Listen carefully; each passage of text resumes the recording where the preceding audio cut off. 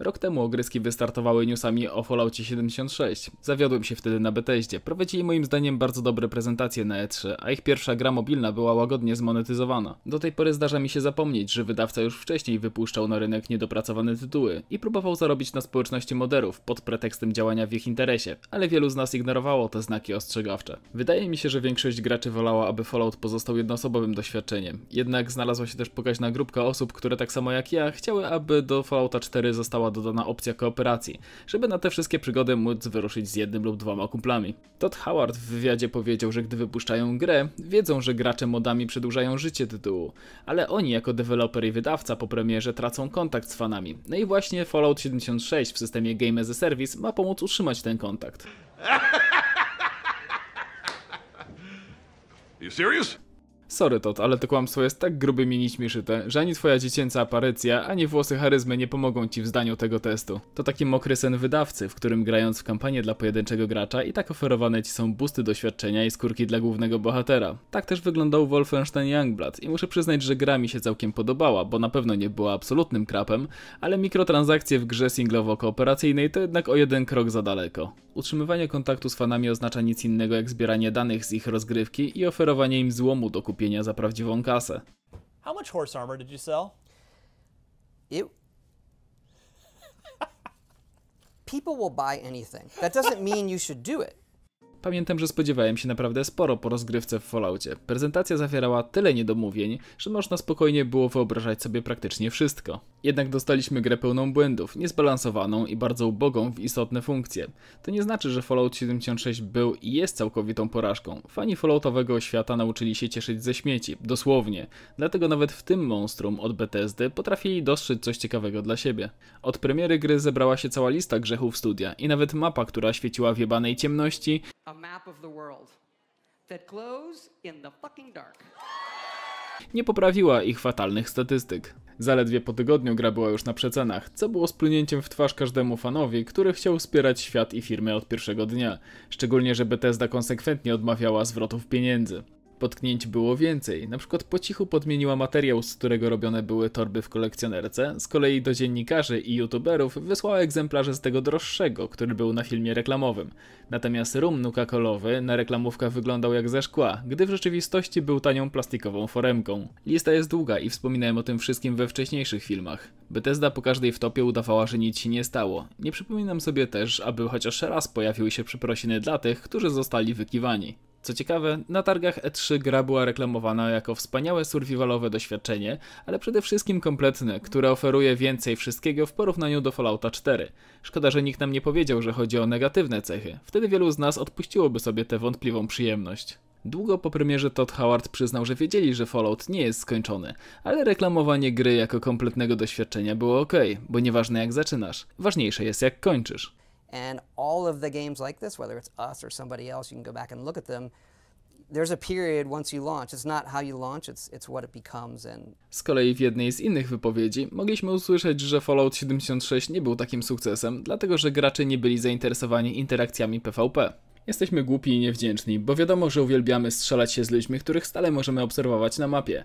A gdy w końcu wykażemy się sprytem i ich zaskoczymy, to zadawane im obrażenia przypominają bardziej poklepywanie ich po ramieniu i dają przeciwnikowi cały możliwy czas, jaki jest na świecie, by mógł przygotować się do walki. To trochę tak jakby producent gry w bierki był zaskoczony, że produkt nie radzi sobie w branży AGD. Domyślam się, że Bethesda wzorowała się na Daisy, lecz tam gracz potrafił przewietrzyć ci czaszkę nawet mimo tego, że gdyby nie twoja pomoc, chwilę wcześniej sam by był tylko mokrą plamą na asfalcie. Mimo, że mam sporo zarzutów do Daisy, uważam, że gra Bohemii wygrywa realizmem sytuacji, w których znajdujesz przewagę, jeśli udało ci się znaleźć broń, a następnie ta przewaga rozchodzi się na umiejętności. Jeśli źle strzelasz albo nie wiesz co się dzieje dookoła ciebie, nawet broń nie gwarantuje ci przetrwania. Oczywiście słaby design i masę błędów Fallouta poprawiliby sami gracze, gdyby wydawca im na to pozwolił. Ale pieniążki są ważniejsze i w ten sposób dostaliśmy Fuck You First, usługę za którą rocznie musisz wywalić 5 stów. Niedawno Pete Hines był gościem podcastu Kinda Funny.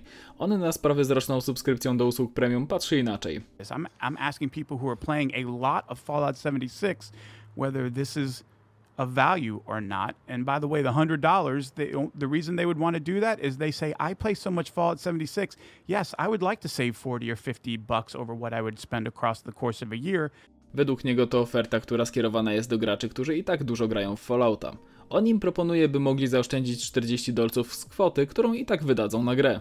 Zaraz, z- zaczekaj. Coś mi się tutaj nie zgadza. Zakładasz, że gracze, którzy dali 60 dolców za grę, planują wydać jeszcze dodatkowe 100 do 150 rocznie na coś, co już kupili? Przecież wszystkie DLC miały być za darmo, a w sklepie miały być tylko ubranka dla bohaterów. Chyba, że wprowadziliście do sklepu usługi ułatwiające życie, czyli pay to win. I wiecie, że jak ktoś chce grać na poważnie, to albo musi spędzić w grze absurdalną liczbę godzin, albo będzie zmuszony sięgnąć do portfela. Prawda, Pete? Więc Bethesda najpierw chce stworzyć warunki, które zmuszą cię do wydania tej kasy, a potem przedstawić ci takie opcje wyboru. Możesz płacić po miesiącu, ale wtedy wyjdzie więcej, albo płacisz 100 dolców od razu i masz trochę taniej, ale związany jesteś z nimi przez rok. Kiedy jeszcze nie wiedzieliśmy o planach Bethesdy, narzekaliśmy na zbyt małą pojemność skrzyni. Firma tłumaczyła się, że to ograniczenia serwerów, silnika i przedstawiała inne wymówki, dlaczego gracze nie mogą bezpiecznie przechowywać większej liczby przedmiotów. Z Fallout First ten problem magicznie znika, bo gracze premium mają nieograniczoną pojemność skrzyni, ale o tym wspominałem już poprzednio. To samo dotyczy surowców. To nie poziom trudności sprawia, że są trudno dostępne, a mechanizm, który macie zagonić do wydania kolejnych pieniędzy.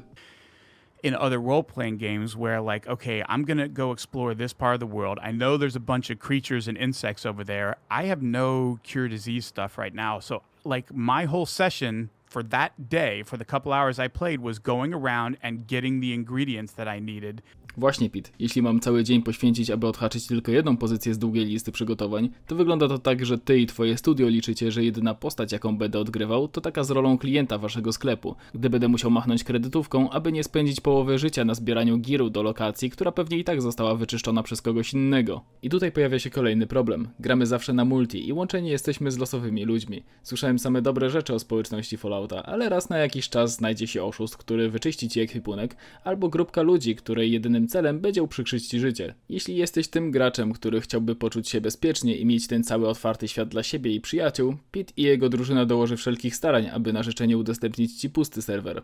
that's what we're signing up for. Anytime this person decides they want to play the game on a private server, we have to have reserved space with somebody and spin that up. Like I, I don't I don't own part of the Amazon cloud. Like you know what I mean? Like we're going to somebody else to say I need to reserve this server so that this person can play whenever they want. And when you start multiplying that across a lot of folks, like yeah, it's not going to be free. Obiecali prywatne serwery i słowa dotrzymali, ale Pete chyba nie słyszał o trybie singlowym albo połączeniu peer-to-peer i możliwości hostowania gry u siebie. Nie, takie rozwiązania nie istnieją i Pete za jedyne 500 zł rocznie własnoręcznie stworzy dla ciebie serwer, o którym marzysz. I mówię to już teraz, zanim coś głupiego strzeli ci do głowy i powiesz, że Pete cię oszukał, bo obiecywał coś innego. Pete bardzo się przyjmuje tą całą krytyką i wcale cię nie oszukał, więc przestań ranić jego uczucia. Powiedz im, Pete.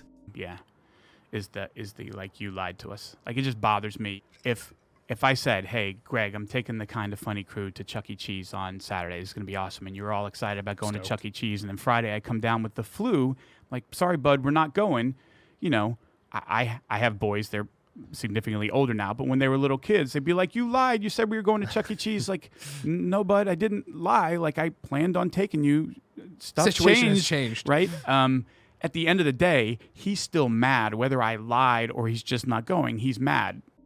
Pete zażalenia graczy przyrównał do sytuacji, w której ojciec obiecał dzieciakom niedzielny wypad do fast fooda, ale się rozchorował i nie może tego zrobić. Narzekający gracze są jak dzieci, które pomimo tłumaczenia ojca są złe, że wyjazd się nie odbędzie. Po pierwsze, analogia z dupy. Jeśli w tę niedzielę nie pojadą, to mogą pojechać za tydzień. Sytuacja się nie zmieni, tylko czas. Po drugie, jeśli chcielibyśmy naprawić tę analogię, to ojciec najpierw mówi, że jadą do fast fooda, ale w drodze decyduje, że pojadą do jego ulubionej knajpy. A dzieciaki nie tylko kupują jedzenie za swoje, to jeszcze muszą oddać mu za benzynę. Trudno w takiej sytuacji nie czuć się oszukanym.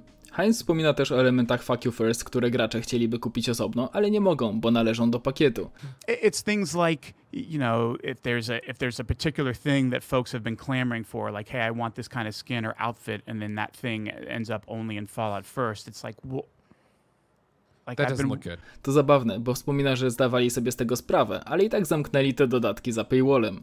Taką rzeczą był chociażby skin Rangera z Fallout New Vegas. Z kolei Pete uważa, że każdy, kto donosi o tym, co nie tak dzieje się z Bethesdą i Falloutem 76, liczy na kliknięcia i rozgłos i nie należy do grupy graczy. Patrz Pete, co leci w tle. Wygląda znajomo? A nie czekaj, może jak otworzę sklep, to lepiej rozpoznasz swoją grę. Szczerze, Fallout w Polsce klika się przeciętnie, za to najlepiej DayZ, Cyberpunk, Disco Elysium i o dziwo Ghost Recon Breakpoint. Za to wszyscy wiemy dlaczego akurat teraz pojawił się wywiad z Heinzem.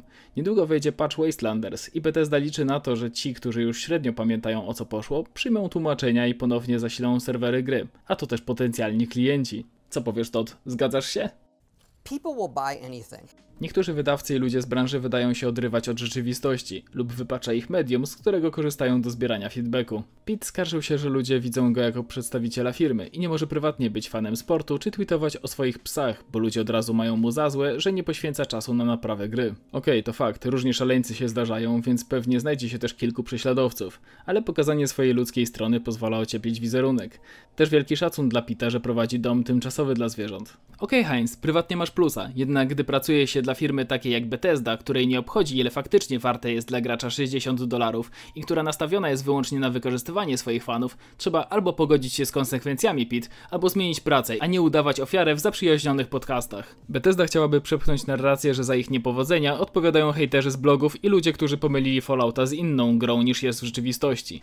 Tak, pomylili ją z dobrą grą. Fallout jest słaby, ale nie jest beznadziejny, więc da się w niego grać i nawet dobrze się bawić. Jednak dołączając teraz do gry, mam wrażenie, że dostaję darmówkę MMO, za którą musiałem zapłacić 250 PLN-ów, a cały dobry content zamknięty jest za paywallem. Jeśli Heinz tak bardzo chce uchodzić za dorosłego, powinien wziąć odpowiedzialność za swoje słowa, przyjmując konsekwencje lub znajdując wyjście z tej sytuacji. Wydawcy nie mogą żądać od gracza, aby zapłacił za ich własne błędne decyzje. Miałem jeszcze wspomnieć o kolejnych firmach, które wycofują swoje gry z GeForce Now, ale może wrzucę taki krótki update w niedzielę poza normalnym schematem. A na razie to wszystko w tym odcinku. Z tej strony mówił Shifter, a ciebie zachęcam do subskrybowania kanału. Powoli zbliżamy się do setki, co mnie bardzo cieszy, więc jeśli jest jakiś temat, który uważasz za ważny, albo po prostu cię bulwersuje i chcesz o nim pogadać, daj mi znać w komentarzu. Łapki z kciukiem w górę i w dół są przeze mnie regularnie dezynfekowane, więc nie wahaj się w nie klikać. I pamiętaj, mówmy głośno chcemy, żeby wyglądał świat, wtedy inni pomogą nam go zmieniać.